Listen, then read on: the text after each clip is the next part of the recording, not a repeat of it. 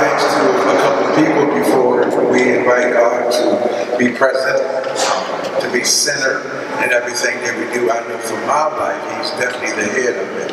Uh, I'd like to thank, first of all, Allegheny Family Network, which is the organization I work for that helps sponsor me coming back and forth to Harrisburg. I'd like to thank the AIU who facilitates the bus. Uh, we're really appreciative of that and Larry Klinger and all those that work with Allegheny, uh, I with uh, AIU. And I would like to thank the Fatherhood Collaboration of Western Pennsylvania who've been on the grassroots root level of pushing this effort forward and all of the surrounding counties that's come here today to honor fathers and families. This is about our children. This is not about a gender. This is not about a department or an organization. This is for the betterment of everyone, as Dr. Lynch was saying. We win when our kids win. Father, we thank you. We honor you for being in this place with us. We thank you for safe travels. And as we stand here in the place called government, all authority is in your hands. And so turn the hearts of those that need to vote today. That we don't have to solicit, we don't have to urge or coerce, but God touch the hearts of those that can make this Bill 1731 a reality. We thank you for tenacity for the last seven plus years. But now, God, it is time to cross the goal line. And in that, we can celebrate for the future of our children, our children's children, and our children's children. The Bible says that a man is blessed in the fourth generation. And so, Father, bless the Father movement. Bless everybody that's here today. And thank you for being present in our lives. I pray these prayers in Jesus' precious name. Amen. Amen. Thank you. Thank you very much, George. And now I would like to introduce our presiding official, uh, the Reverend, the Honorable Reverend Dr. W. Wilson Goode Sr., Chair Emeritus of the Pennsylvania Symposium Organizing Committee, and the former mayor of the city of Philadelphia, Dr. Goode.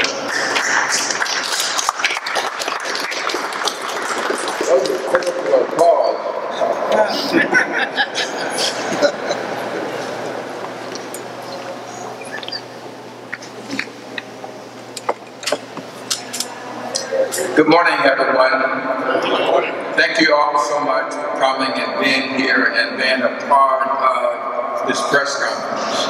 Uh, we want to just say how much we appreciate y'all traveling long distances to be here. And just want to say good morning to all of you. Good morning. Good morning. Good morning. Good morning. Before we get started, I would like to acknowledge David A. Warren, current chair of the SOC, who cannot be with us today due to personal health issues. Please keep, keep him and his family in your prayers. Let's just pause for a moment of silence just to uh, recognize him.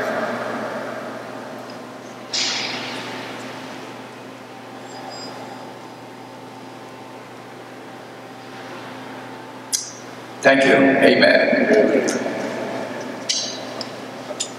It's been my pleasure to be a part of this movement and to chair it over the last five years.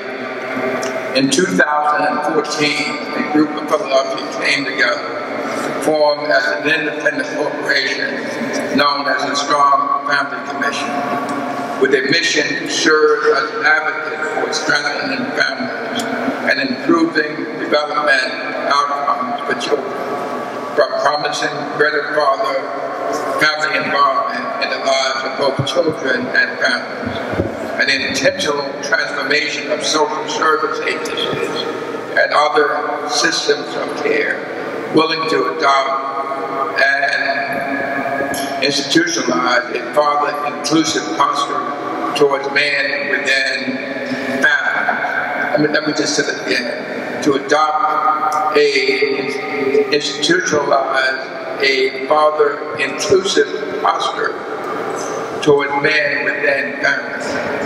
Father inclusive posture toward man with that. In 2016, we decided that the work we had in Philadelphia needed to be elevated to statewide as the issue transcended Pennsylvania counties. Thus, the Pennsylvania Symposium Organizing Committee, the SOC as we call it, was established to bring to light something that had been in the dark too long.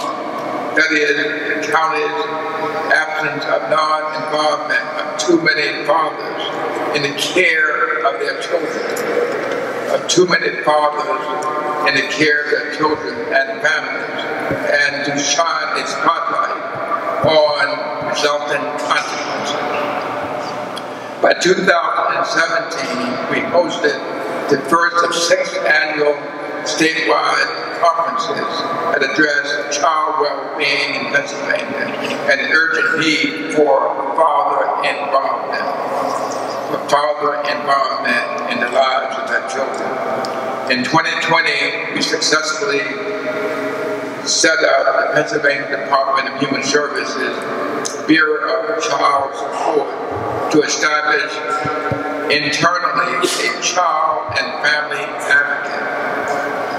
Big star to establish internally a child and family advocate advisory board to assist the Bureau in its transformation towards being more family inclusive in its service delivery model.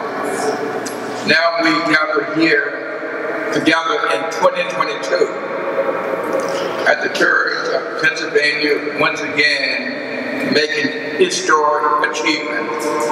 We thank the members of the General Assembly for their foresight and courage to make father inclusion a substantial component of the work that is to be done for the children and families in our state.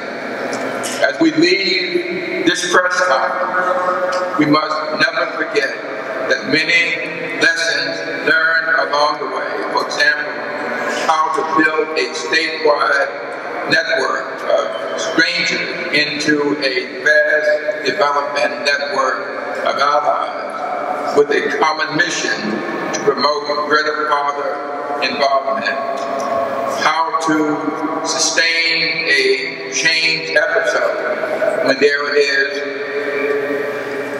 no reliable source of funding to cover the expenses needed to provide the public at no charge in dealing with all of that. Uh, I just want to say that uh, I've learned in my life that what you have to do is keep pushing. That things don't work unless you just keep pushing. And all these people behind me and out there have been a part of a movement for the last five years that never gave up. And if we want to see further father involvement in our families, all of us have to keep pushing. And even though we're near the goal line, you know, sometimes you have to take and push people over the goal line. I was watching a football game the other day and all of the big guys, uh, these big guys back here, they have to push us over the goal line. So, so I just want to say that it is my pleasure now uh, to introduce Dr. Joel N. Myers, campaign advocate and chair of the Pennsylvania Greater Family Involvement Campaign, is founder and chief executive officer of AccuWeather, Incorporated. Thanks for a lovely day, Dr. Myers. uh, an American media company that provides commercial weather forecasting services worldwide. Dr. Myers operates out of the State College in Pennsylvania. Then Dr. Lynch, who does not lack much said about him, at least while he's present, uh, who will give thanks to elected legislative leaders as sponsor of House Bill 1731 and has asked to be introduced simply as a fatherless and a National Social Workers social work pioneer. Uh, he's all that and more. So, Dr. Myers.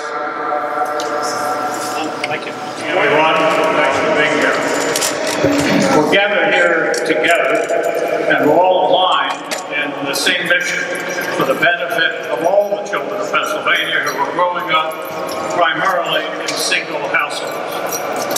As we know, there is great evidence that shows when both parents, mom and dad, are involved and engaged in their lives, their children are likely to have a much more successful and happier life. The statistics in this regard are overwhelming.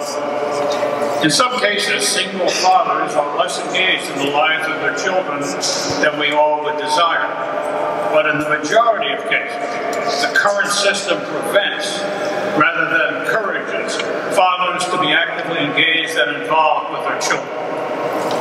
The overall impact on the children and on our nation's social system is overwhelmingly negative. In fact, I have argued that this is the single biggest under-discussed crisis that exists in our society today. As a result of a campaign that we undertook nearly six years ago to begin the process of correcting this problem, now with the support of the state legislature, and hopefully with the establishment of the Advisory Commission, we may soon be empowered to recommend changes which will be of significant benefit to the children of this Commonwealth. And this will be an important milestone in overall social progress. Since we last met here in this beautiful rotunda of the state capitol in 2019, we have had four statewide annual symposia attended by hundreds of engaged participants.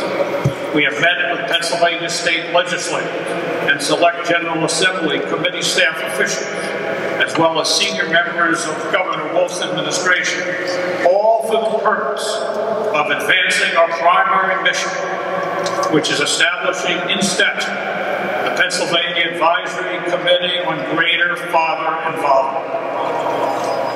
We are grateful to State Senator Anthony Hardy Williams, who was the primary sponsor of our bill in the last legislative session, as well as to State Representative Lori A. Mizgorski, who took the lead in the current session by introducing HB 1731 to create the Pennsylvania Advisory Committee on greater father involvement in the House of Representatives in 2021.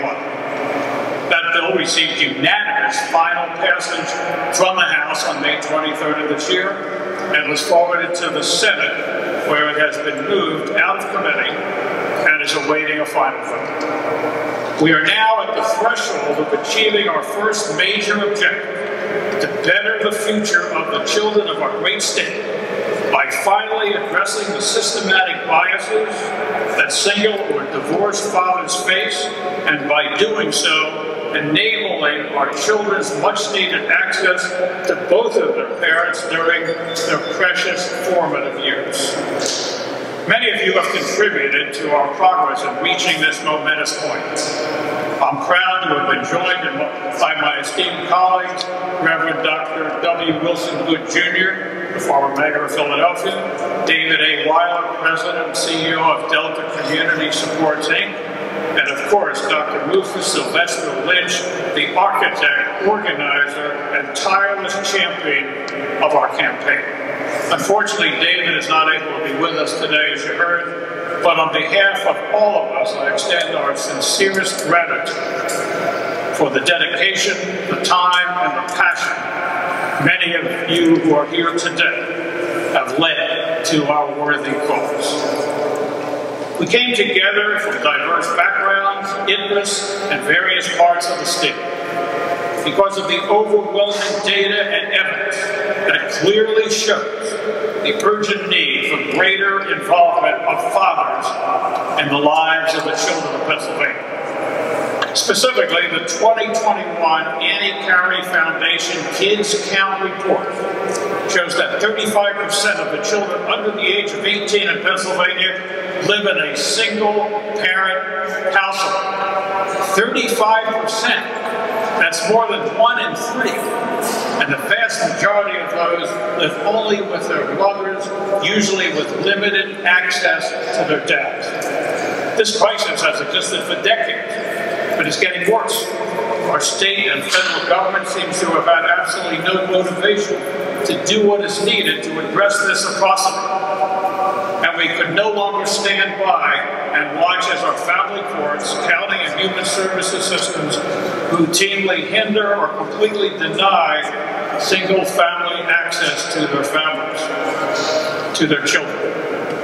We also know that according to the 2019 study of contested custody cases selected at random in 14 counties in central Pennsylvania conducted by the Dad's Resource Center, Judges awarded custody time on average 69% to moms, 31% to dads. Of these 700 cases, mothers received either full or primary custody in 71% of cases, while fathers received full or primary custody in only 14%. That's a 5 to 1 ratio. And these are cases where it was contested cases, where fathers went into court and spend thousands of dollars, in some cases tens of thousands of dollars. But actually the situation is far worse than that because these statistics show the cases that went to court. Most attorneys being aware of the likely outcomes often caution fathers not to waste money and time going against the system and urge dads to settle for less custody time than they really want or deserve.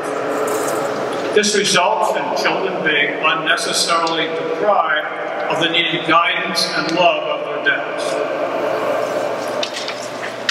Through well over 150 contacts with single fathers we have had since the founding of the Dad's Resource Center, we've seen an extreme disconnect between how people want and would expect our family courts to operate and how in fact they do. What we have seen is an unfair and biased system that enables and encourages conflict between separated parents. Even worse, the children are often exposed to persistent tensions, uncertainty, and being caught in the middle of conflicts between parents. Shouldn't government agencies be doing just the opposite? Because of this overwhelming evidence, the Dad's Resource Center decided to survey the citizens of Pennsylvania to find out how they believe our family courts should operate. So in partnership with the National Parents Organization, the Dad's Resource Center very recently commissioned and paid for an independent poll of the attitudes of Pennsylvanians regarding shared parenting when parents live apart. We are announcing the results of this important uh, study first time here today, and they are truly extraordinary. 97% of the respondents to this poll, 97% believe that children with separated parents should have equal access to both parents.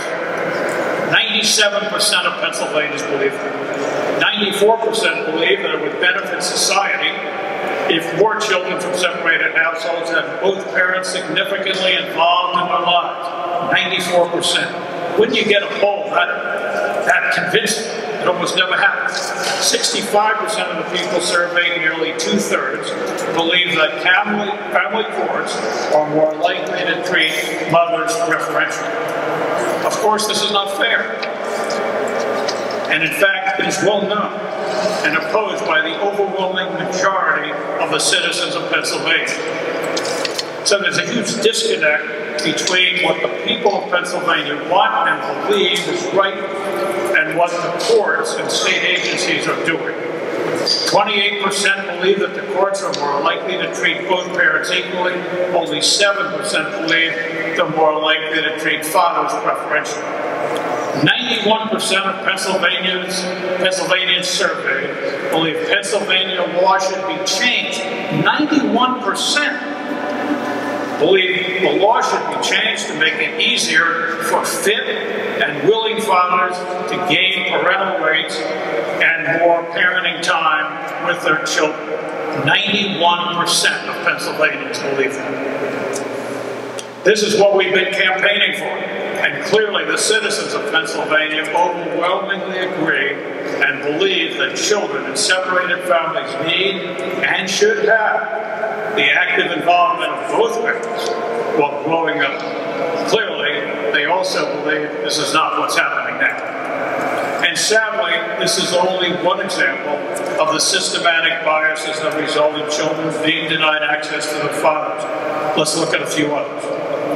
We know that the staff makeup in the Office of Children and Youth in Pennsylvania, as surveyed by the Dad's Resource Center in 2019, is not balanced. 82% of the staff are female, 18% are male. The ratio of supervisors, 84% female, 16% male.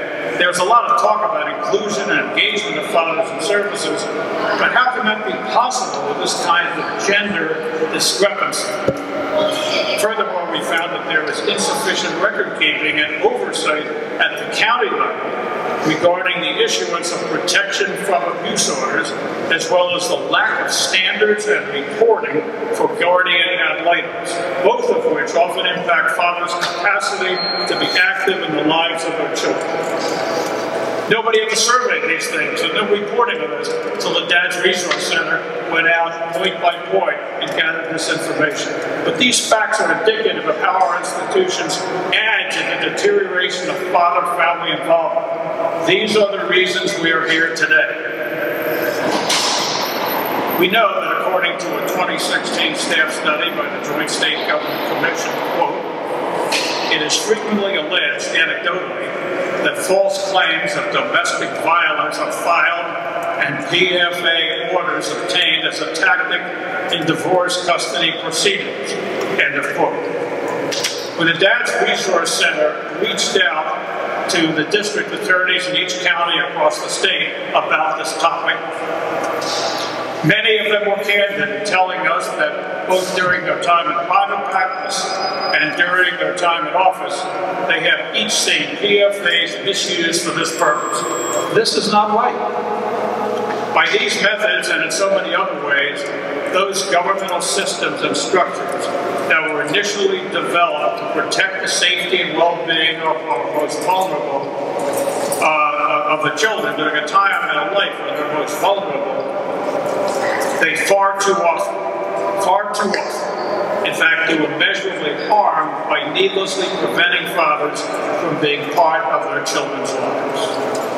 This despite statistics that show that children are less likely to be exposed to abuse or neglect when they live with or have their fathers actively involved in their upbringing. This bears repeating.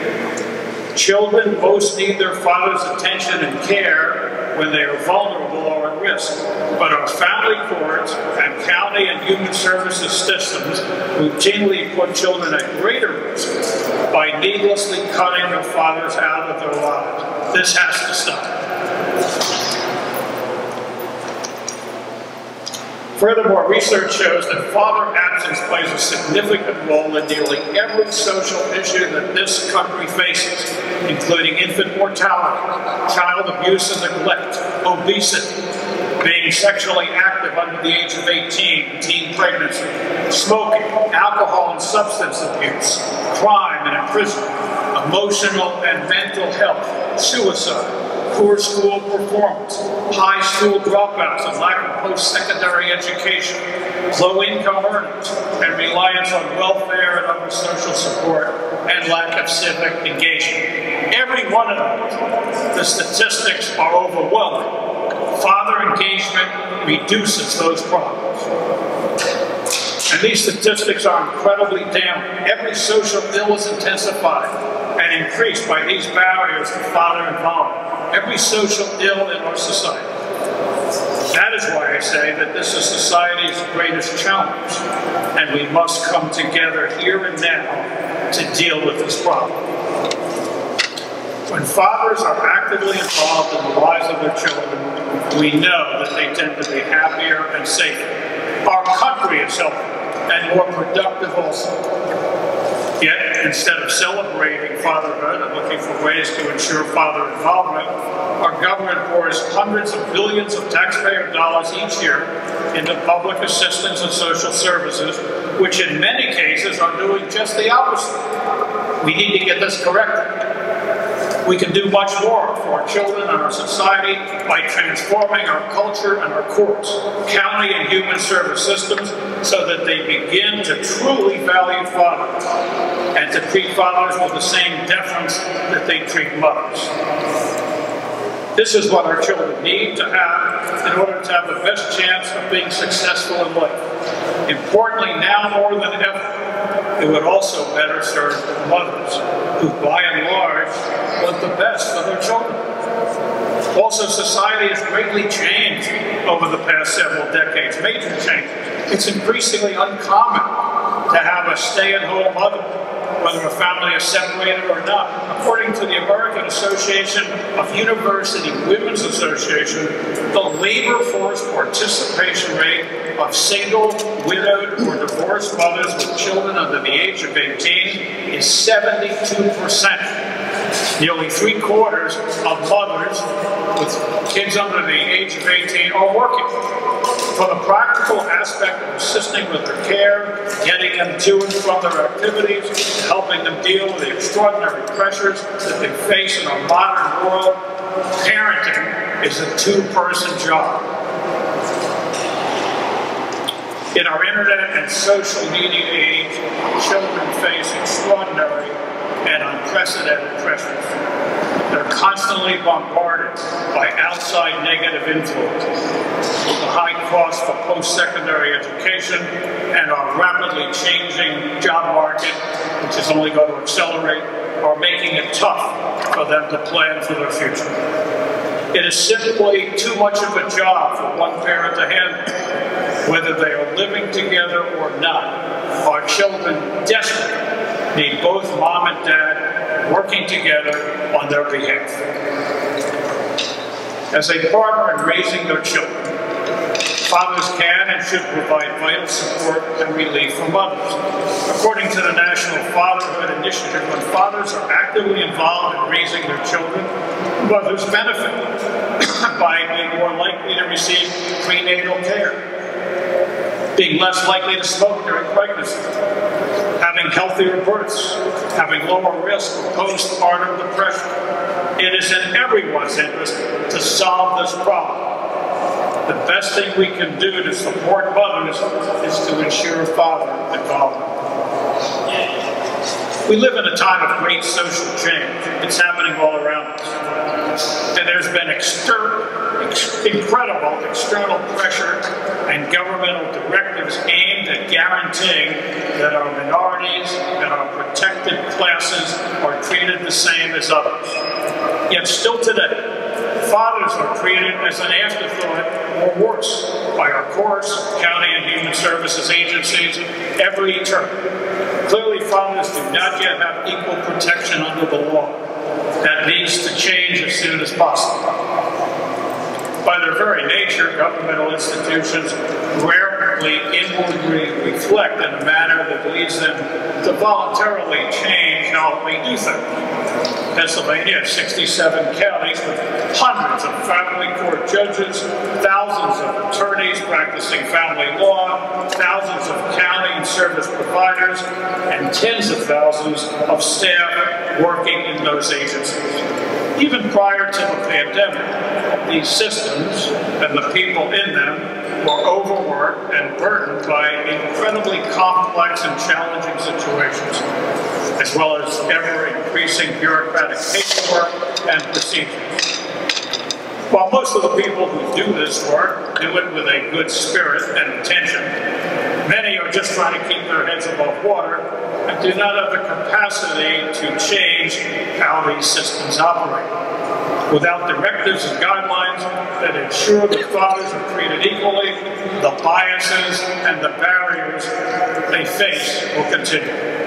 That is why we set our course to involve the General Assembly to pass HB 1731, which establish the Pennsylvania Advisory Committee on Greater Father Involvement. By passing this bill and having assigned it to law, our elected officials will codify that quote. The public policy of the Commonwealth is to end institutional barriers that may impede fathers in fostering supportive connections with their children establish support mechanisms to enhance the ability of fathers to assume a beneficial parenting role and assist men in preparing for the legal, financial, and emotional responsibility of father. End of quote.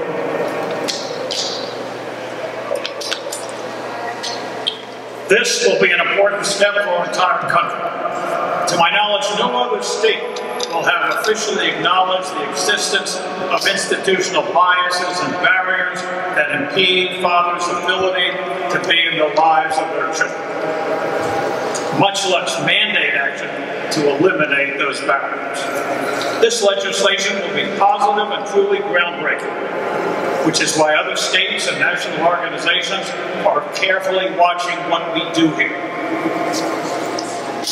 It's been extremely validating over the last five months as every vote that has occurred in both House and Senate has been unanimous in favor of advancing this important bill. Many of our elected officials have been personally touched by situations where good fathers are denied access to their children. And many of them have had constituents come to them desperately pleading for their help in breaking through these barriers in a political climate that we live in today, when all sides agree on so little, to have this kind of support between men and women, between those in urban areas and those in rural areas, between Democrats and Republicans as we do here, we know our cause is just. It's important to publicly commend Speaker Ryan Cutler and Senate Pro Tem Jake Corman for the dedication, wisdom, and leadership they have displayed throughout this process. I met with Jake Corman before I started the Dad's Resource Center seven years ago and told him what I was about to do, and he's been a supportive all the way along. This has been a terrific example of how government can and should work, and we're grateful for all of you and all all of you in this movement have done to this point. Please know we're eager to, eager to join with you to finish the job now and get this essential bill to the governor's desk by the end of this legislative session. While we're here today to celebrate the incredible progress we've made, we must keep in mind that this will only be the first big step. Once the Advisory Committee on Greater Father Involvement is established, uh, it will take it, it, will, once it's established, I'm sorry, it will make recommendations regarding the possible establishment of a long-term or permanent fathering commission, as well as defining its powers, duties, and funding. It will also submit a report to the Governor and General Assembly, making recommendations to aid in understanding, evaluating, and involving implementation of programs by December of next year, December 2023. As hard as we've worked to get HB 1731 passed into law, we need to follow this up to ensure proper implementation by the advisory committee so that it truly meets the needs of the children of Pennsylvania. To this point, our campaign has benefited from the broad approval of most Pennsylvanians. The closer we come to challenging some of the status quo and invoking true system change, the more will need to be active and have continue active involvement of the citizens of the state to keep our momentum going. I have no doubt we will. Father absence is one of the greatest, most ignored crises that our country faces today. Because of our vision and efforts, Pennsylvania is on the brink of historic and positive action to ensure that all able and willing fathers are given the opportunity to play their sacred role in their children's lives. Today, we are asking Pennsylvanians to join us in our effort to transform Pennsylvania into America's most father-friendly state. Together, we will be doing great work for our children as well as our moms and families. Thank you very much.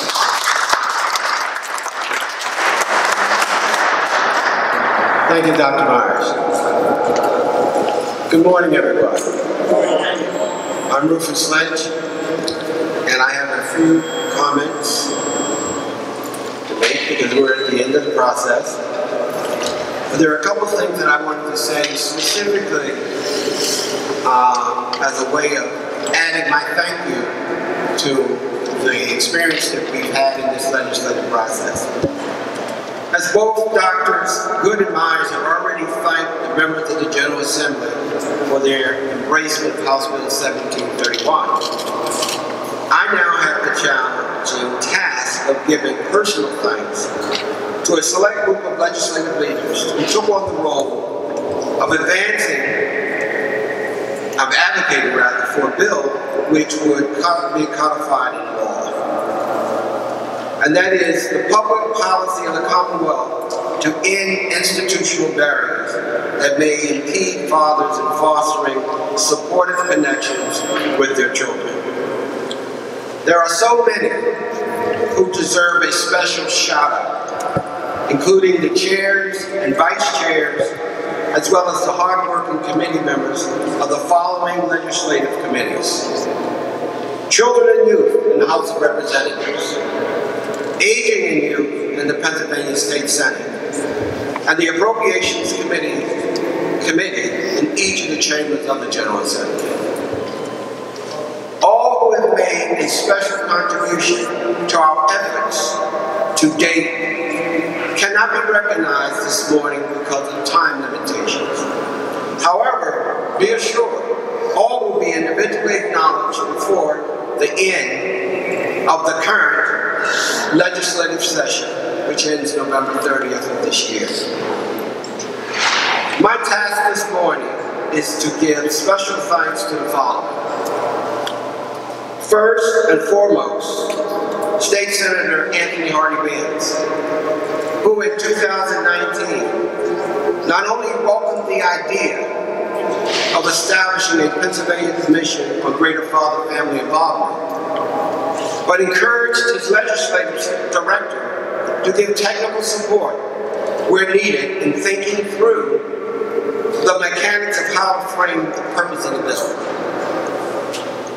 which he then agreed to introduce in the state senate as Senate Bill 476. Because the work of the SOC, that is the Pennsylvania Symposium Organizing Committee, has always been bipartisan and bicameral in nature. I had the task in 2020 of seeking a like-minded sponsor of Senate Bill 476 and the Pennsylvania House of Representatives. Many thought such a task before the end of 2019 to 2020 the legislative session was impossible. However, as God would have it, I was fortunate and honored to meet Representative Lori A. Mizgorski, a woman who understood exactly what SOC was attempting to do and embraced the concept as she too was concerned with the welfare of our country the forward movement of the Commonwealth of Pennsylvania and its children, families, and communities. Thus, in 2020, what some thought could not happen would not happen, Representative Mizgorski introduced in the Pennsylvania House of Representatives House Bill 2872, which most of us have forgotten about. Unfortunately, time had run out before either bill was released from their respective committees. As a new session of the General Assembly began in January 2021, we all agreed, including Senator Williams, that Representative Mizgorski would take the lead in sponsoring House Bill 1731, which is why we're all here today. We, the the Pennsylvania Greater Father Family Involvement Campaign, known as, I can't think of the name, I didn't write it down, uh, the Strong Families Commission Incorporated. Thank her for her courage, conviction, and perseverance during the establishment of an advisory committee on Greater Father involvement. As I end my remarks, we, meaning the citizens of the Commonwealth, including those of you who are here, must never forget that when we think about the legislative process, we must think of it through a quadruple lens. Meaning, one, the citizens who want to make change, which is the most important component. Two, the members of a legislative body themselves who get to vote ideas up or down regarding the change. Three, the sponsors and co-sponsors of ideas who are willing to advocate and defend the introduction of the idea. And last but not least, the caretakers of the legislative system itself. Regarding 1731, the Commonwealth of Pennsylvania could not have had better, thoughtful, and visionary leaders who support the desire of every citizen to champion a statutory statewide entity to promote greater father family involvement in the life of children, families, and communities, thus ensuring the further well-being of the Commonwealth itself. In that regard, let's all give a hand to House Speaker Bryan D. Cutler and President Pro Tem Jacob Corman III. I thank you for joining us today. God bless you. Jeff, Dr. Martin, good? That's right. I didn't know you were going to introduce you again.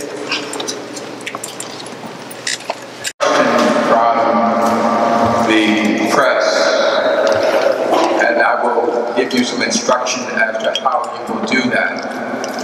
Uh, I wanted to just make one comment uh, about my father uh, and let you know how important, how significant fathers are in the lives of their children.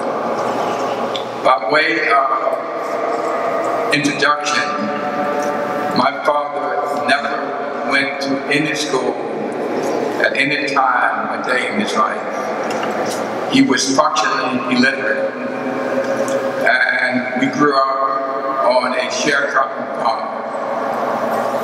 And one day, while in the field plowing the cotton, my father stopped the mural that he was behind and stopped me and looked at me at that time and said, Wilson, you're not going to be a farmer. That one day you're going to be someone important. And it was my pleasure to invite him to my inauguration as mayor and to thank him for his prophetic utterance in the cotton in Seaboard, North Carolina. And so involvement of fathers are significant and important, and sometimes they are prophetic.